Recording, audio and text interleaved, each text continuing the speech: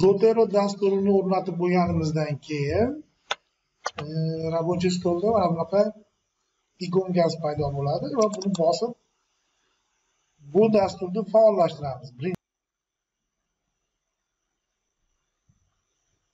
Men bu yerda menda e, подборка bor. Judayam ko'p papkalar chiqib ketgan. Bu yerda endi yangi papka ochamiz. Masalan tolibjonov ne'matullo xonni yozadigan bo'lsak bu yerda yangi ochildi. Mana Solijonov ne'matullo xonni ichida biroqda ham hali to'plam yo'q. Endi buni pastga tashlab qo'yamiz buni faollashtirdik. Ingliz tilidagi ma'lumotlarni olish uchun biz albatta pubmedga murojaat qilamiz. Pubmedga kiramiz. Pubmedni qidiruv sahifasiga chaqaloqlarda sindrom ya'ni og'riq sindromi deb yozamiz ya'ni.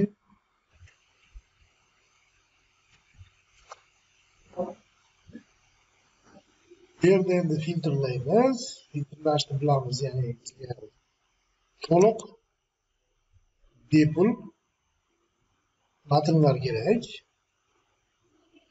bizga iloji boricha adabiyotlar sharhi kerak yoki tizimli sharh kerak va oxirgi o'n yildagisi kerak. Mana biz aytgandaqa qilib ko'rsatib berdi.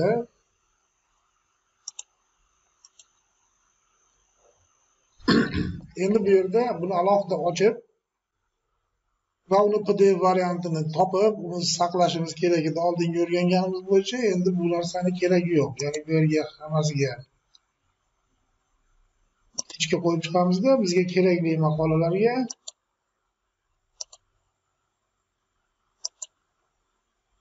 parasetamol to'g'risida kerak bu. Bronanital pain hammasi chaqaloqlardagi og'riq sindromiga tegishli bo'lgan o'nta maqolani oldik. Ikki yuz sakson sakkizta natija ko'rsatyapti va bu belgilab olganlarimizni hammasini mana bu joydagi zoteroni tugmachasiga bosadigan bo'lsak mana biz belgilagan maqolalar.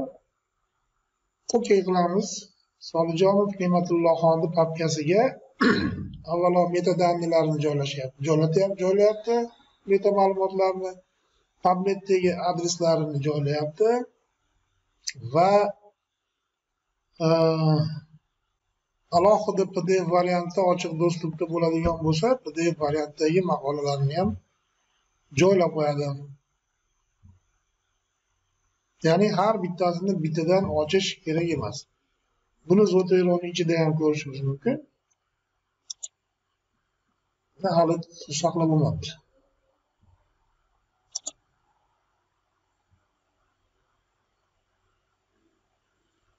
e'tibor berayotgan bo'lsanglar mana bunda demak pdf varianti topilmagan pubmedda yoki u pulli shuning uchun bu yerda mana bu qizil pdf variantidagisi yo'q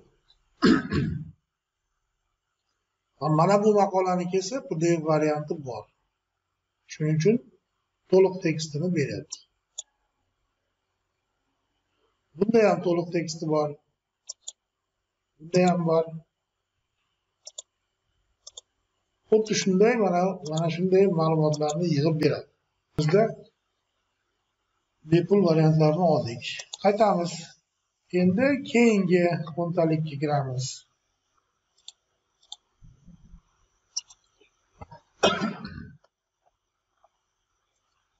Ana keyingi o'ntalikda o'ntadan keyingisi ikkinchisi. Buni olamiz buni ham olamiz. Bu o'sma kasalliklarda og'riq sindromi to'g'risida. Bu mana mm, pediatriyada og'riqni o'lchash to'g'risida hammasida mana pain degan so'z bor kalit so'zimiz va newborn degan so'zimiz bor. Ya'ni chaqaloqlarni og'riq ular hammasi kerak.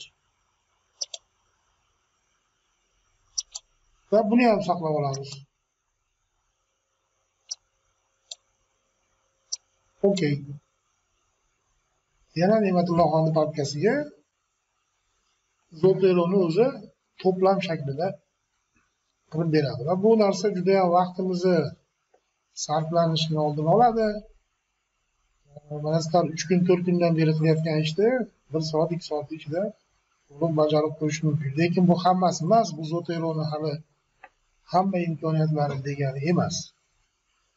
E'tibor berayotgan bo'lsanglar qaysi maqolani ustiga bosadigan bo'lsak shu maqolani kimlar yozgan va uni qisqacha annotatsiyasi e, qaysi jurnalda mana bu joydagi adreslari internet manzillari doisi va joylashgan joyi qachon joylashtirilgan hammasi to'g'risida ma'lumot bor. Va bu ma'lumotlarni alohida chop etish imkoniyati bor. Masalan aytaylik mana shu подборкani deylik. Aytaylik mana shuncha maqolalarni oldik. Endi bularni hammasini hammasini biz statistika sifatida olishimiz kerak bo'ladi.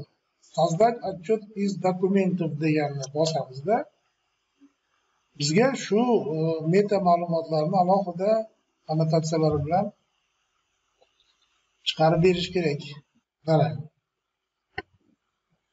birinchi maqola болевой sindromi nоворожденов mana shu hamma ma'lumotlari undan keyingisi undan keyingisi va hokazo.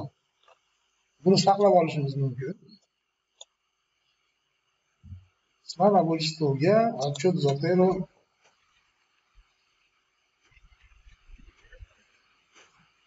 saqlab oladigan bo'lsak xuddi shuni chop etish imkoniyatimiz ham bor.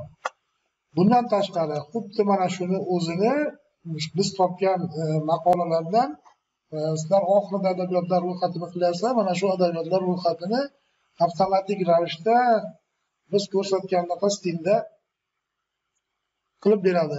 Uning uchun mana bu создать библиографию из документов degan narsani bosamiz. Mana bu joyda qaysi stilda qilish kerakligini ko'rsatyapti. Endi biz gostni o'rgandik bizga gost kerak. Mana shu gostni bosamizda mana bu yerda e, rtf ya'ni word variantidagi sini saqlab berishni so'raymiz va okni bosamiz buyam endi bibliografiya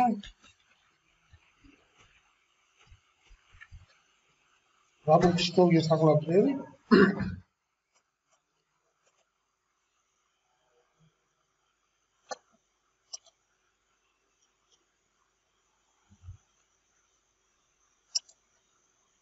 va buni ochamiz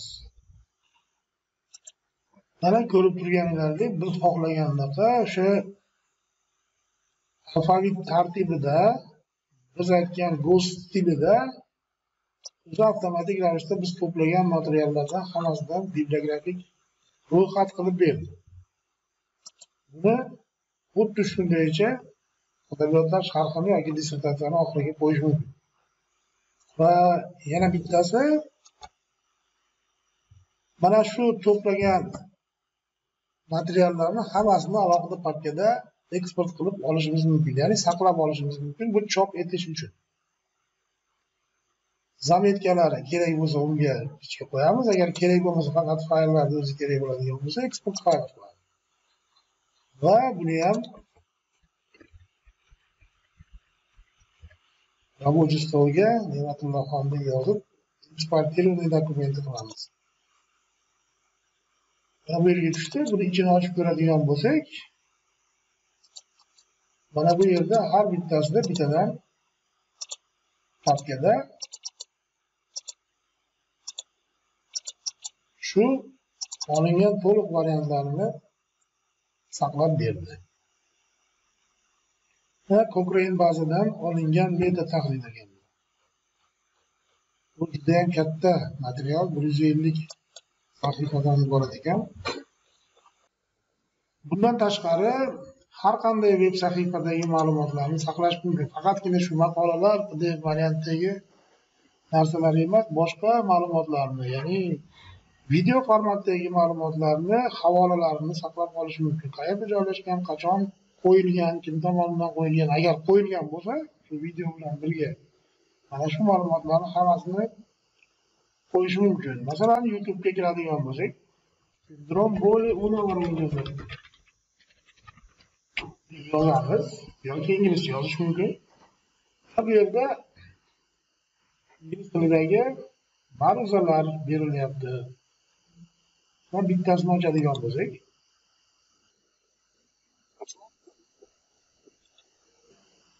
mana shu video to'g'risidagi hamma ma'lumotlarni saqlab berish kerak.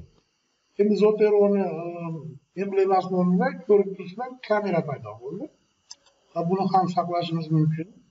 Solibjon ne'matullaxonni papkasiga va ko'ramiz.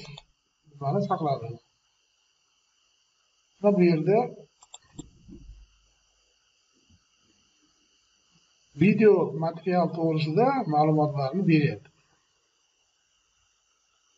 Mana bu yerda o'ylab adresini beryapti? Buni bosadigan bo'lsak to'g'ridan to'g'ri shu videoga kirib ketishimiz mumkin. Biblioteka katalogini beryapti ya'ni youtube platformasiga joylashtirilgan va hokazo.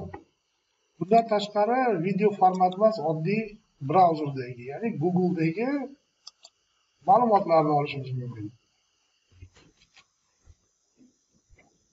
Yerda ham mana maqolalar chiqyapti. Mana shu sahifani o'zini olishimiz mumkin. Da endi snapshotini berdi menimcha mana shu veb sahifani to'liq ma'lumotlarini beryapti. Endi bu veb sahifani ichidan ochadigan bo'lsak demak mana shu pdf variantdagi maqolani alohida sahifada ochamiz. Bu yerda ham mana mana shu maqola to'g'risida va o'zida bu yerda ham alohida pdf variantda saqlab olish imkoniyati bor. Biz endi bibliotekada bibliotekamizdagi ro'yxatga qo'shimcha qilmoqchi bo'lsak buni ham qo'shamiz. Ya'ni bu yerda mana ko'ryapsizlar to'liq versiyasini saqlab olyapti va meta ma'lumotlarni saqlab olyapti. Demak shu bizni ekranimizda nimaiki ko'ringan bo'lsa va bundan olish imkoniyati cheklanmagan bo'lsaki hammasini shu bibliotekamizga kiritib berishi mumkin.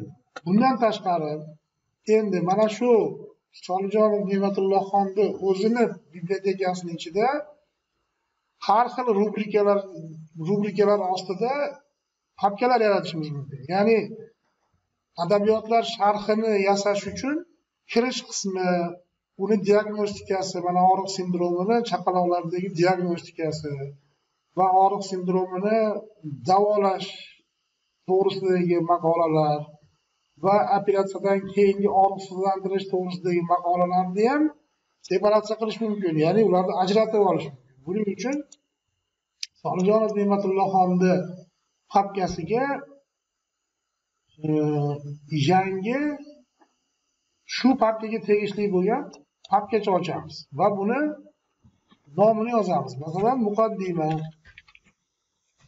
Okey ya'ni bu yerda solijon ne'matullohxonni dissertatsiyasiga tegishli bo'lgan ya'ni muqaddimasiga tegishli bo'lgan maqolalar. Yana bitta qilishimiz mumkin. Bunisi diagnostika deyishimiz mumkin. Yana bitta davolash deyishimiz mumkin. Va biz ko'rgan maqolalarni masalan muqaddimaga tegishli ekanligini biz ko'rib chiqyapmizda ko'rdik. Mana shu muqaddimasiga tashlashimiz mumkin. Yoki biz to'plagan mana bu joydagi maqolalarni bitta bitta o'tkazib chiqishimiz mumkin. Yoki bo'lmasam izlash jarayonida muqaddimaga tegishli bo'lgan maqolalarni masalan mana shu maqolani muqaddimaga tegishli deb hisoblayapmiz. Va biz buni e, solijonov ne'matullohxonni papkasini ichidagi muqaddimasini ochib qo'yamizda. Mana shunga joyla deymiz. Mana mana shuni muqaddimani ichiga joylab berdi. Bundan tashqari shu paytgacha to'plagan materialinglarni e, shu paytgacha to'plangan materialni bu zoteroni kutubxonasidagi papkaga joylashtirish mumkin. Buning uchun alohida papka ochib olib oldin olingan oldin qilingan materiallar deb e, yana bitta papkacha olishimiz mumkinda bu yerga. Va bu yerga e, mana shuni yigirma to'rtta fayl ekan buni ko'chirib o'tkazishimiz mumkin. Va demak oldin olingan materiallar degan papkamizga bizni e, ma'lumotlarimizni tashlab berdi. Va buni biz xohlagandaqa o'zgartirib olishimiz mumkin bo'ladi.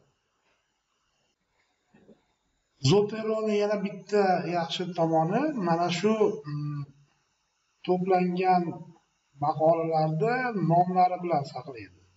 Sizlar bilan biz oldingi videolarda o'rgangan saqlash usulida har xil harflar va raqamlardan iborat nom bilan saqlab qo'ygan bo'ladi uni qaysi birligini bilish uchun har bitta maqolani ochib keyin ko'rish imkoniyati bor xolos. Azoteroda shu nomni o'zi bilan saqlaydi bu ham qaysi maqola qaysi biri ekanligini bilish imkoniyatini beradi. Va bu aytib o'tdim bu har bir maqola to'g'risida to'liq axborot mana bu o'ng tomonida berilgan bundan tashqari mana shu maqola uchun har xil e, eslatmalarni saqlab qolish mumkin. Masalan shu maqola bilan tanishib chiqdik mana birinchi болевой sindrom degan maqola bilan tanishib chiqdikda demak biz ko'ryapmiz bu bizni diagnostika e, degan bo'limimizga ko'proq to'g'ri keladi. Va bu e, bu tomonida zametki degan joyi bor. Mana shu zametkasiga qo'shimcha yozib qo'yishimiz mumkin. Shu болевой sindrom новорожденный degan so'z bizning ishimiz diagnostika bo'limiga bo'limiga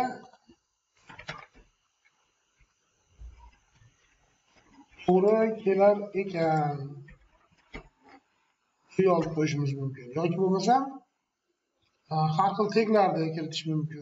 Endi bu buni endi ichidagi imkoniyatlarni sekin sekin hammasini ko'rib olishlar mumkin. Bu yerda bu e, zametkalarni ham tahrirlash mumkin e, izlash mumkin va hokazo bu boshqa havolalar bilan biriktirish mumkin.